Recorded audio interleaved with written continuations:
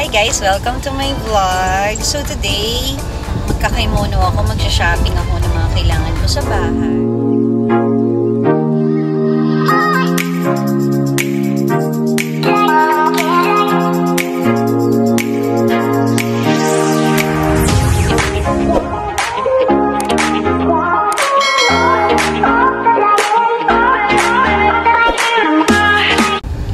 And bago ko gawin yung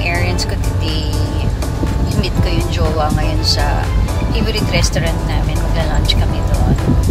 Medyo matagal na rin kami hindi nakapunta doon. And then, after namin mag-lunch, so doon na kami magkikita ng jowa kasi manggagaling siya sa office. And my agenda today is siguro if I have a time, mag-vlog ako ng shopping vlog It is now 11.03 ng tanghali dito sa Japan.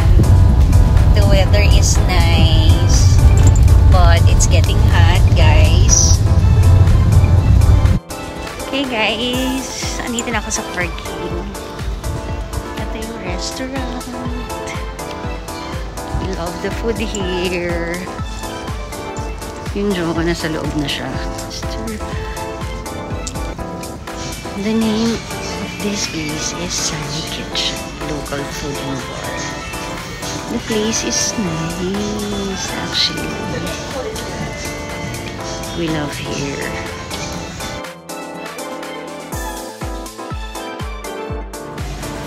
Okay guys, this is the place.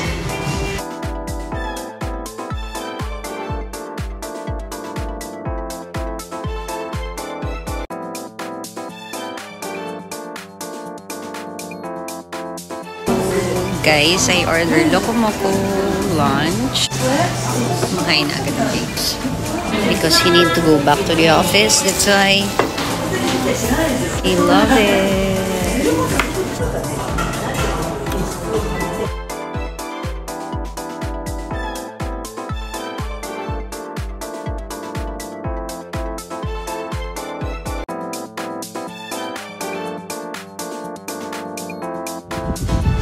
Guys, after we finish our lunch inside, so ni-request namin na dito kami kakain ng dessert sa terrace sa labas. Camera shy ang jowa ako eh. Pasensya na kayo ngayon sa supportive siya pero ayaw niya na nakikita siya sa camera.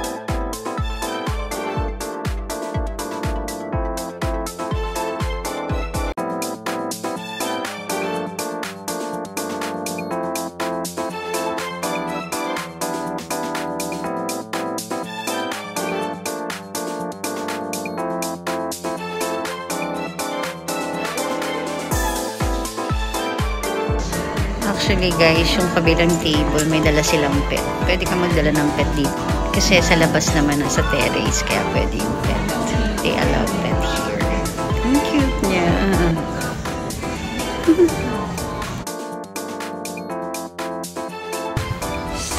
oh, ang jowa ay na sa office. So, bye babe! See you later! So, it's so hot inside the car. Ang init. Oh my God. Ah. Aircon natin. Aircon, aircon, aircon, aircon. Yes. Okay guys, nandito na ako ngayon sa tapat ng Takashimaya because may bibili lang ako sandali sa Takashimaya. I'm going to pick up a new nail polish. Naubos na yung favorite nail polish ko. Parang I want something milky white na nail polish. Okay guys, we'll see.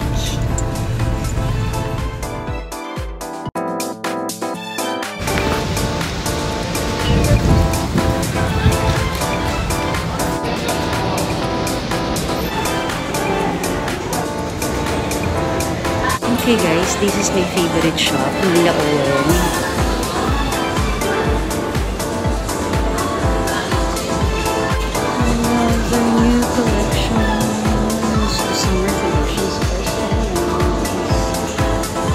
bag. Hindi ko saan gusto ko yung mga bag dito guys. Where is the camel color?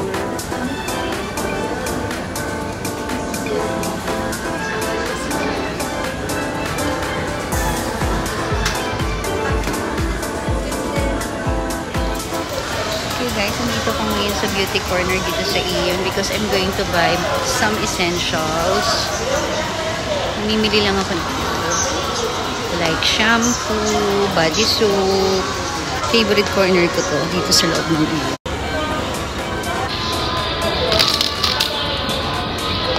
Okay guys, first punta muna tayo dito sa mga shampoo. Naubusan na ako ng shampoo guys.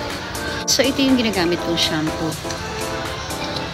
I've been using this for 3 months na din guys. So okay siya sa akin. Hiyang siya. Vegan style. Ang binibili ko guys, ganito na lang.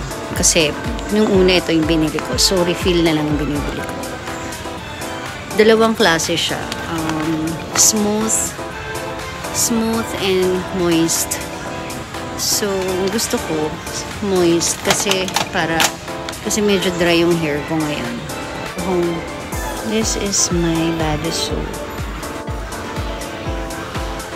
of course this is my pangtanggal ng makeup I've been using this forever okay guys next is ZHC Okay guys, next stop is Funkel. Fansel, whatever you call it. Okay guys, andito ko ngayon sa favorite drugstore ko sa Sugi para bumili ng mask. This is the mask that I always use. This is my favorite mask guys from Kose. Medicated Sekisi.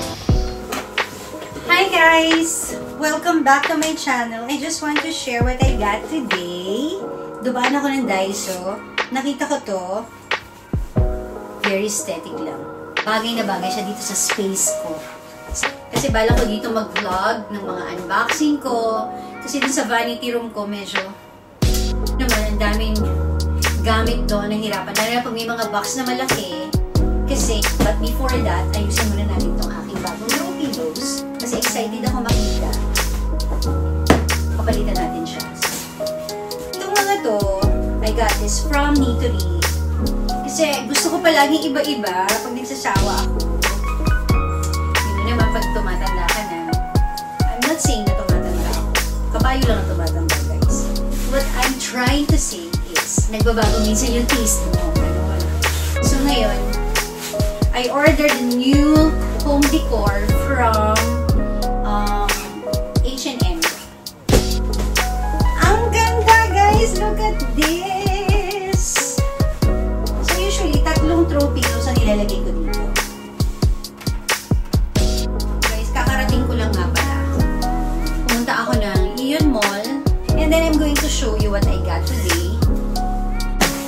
these are the things that I got.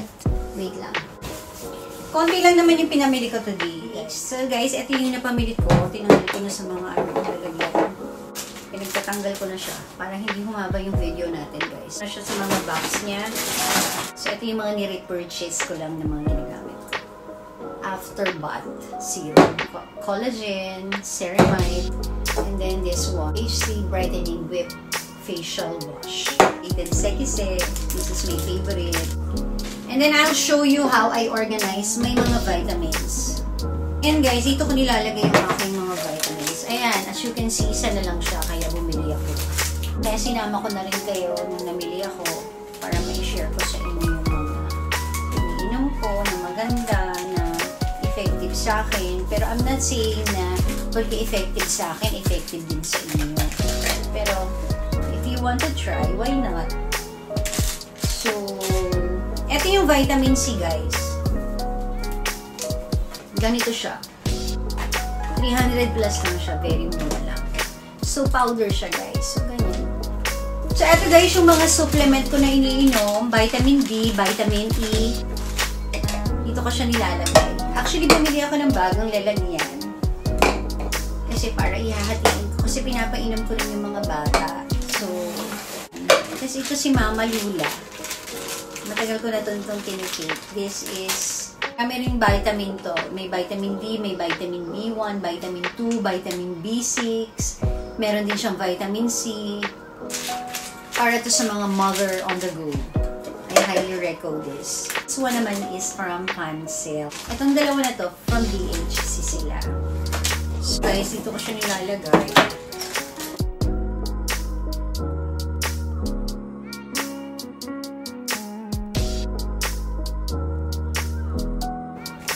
Is how I organize them. Yung box ng DHC vitamin. 1,500 milligram itong vitamin C na to. So, medyo mataas. I highly recommend this. Pinapainom ko din kasi yung mga anak ko nito, guys. So, nakalagay lang to sa table namin para every morning hindi makakalimutan ng mga bagets. I usually um, mix this with my juices. Minsan sa food, actually minimix ko sila. So, I highly recommend this, guys. So, and then, guys, I got a new pillowcase from Uniqlo. Large and medium yung binili ko. Ang ganda niya. Ayoko kasi ng pillow cover na may texture. Pagising may marka ka dito. For example, this pillow. True pillow. Di ba meron siyang texture, may design siya. Pag ito inunanan mo, na ganyan na ng mukha mo, pagising mo for sure nakabakat yan lahat. Sa, yung design niya nakabakat lahat sa mukha mo. Parang ganun. Ayoko ng ganung pillowcase. As much as possible, pagka pillowcase, ayoko yung may texture. Gusto ko yung plain lang talaga. And parang sa yung dating. I love it, guys. So, lalabahan ko muna Actually, pangalawa ko na tong pair, guys. Meron akong isang gray. Kaya, I highly recommend this because nagamit ko na siya. Okay guys, so that would be my haul for today. I hope you like this video and if you did, please give me a thumbs up. Thank you so much for watching this video guys. I hope to see you on my next one.